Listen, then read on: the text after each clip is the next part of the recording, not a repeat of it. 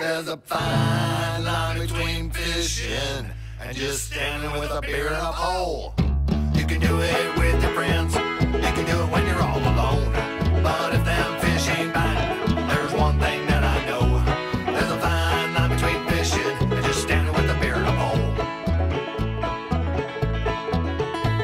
Well, some folks go down by the river like sitting in the shade with a line in a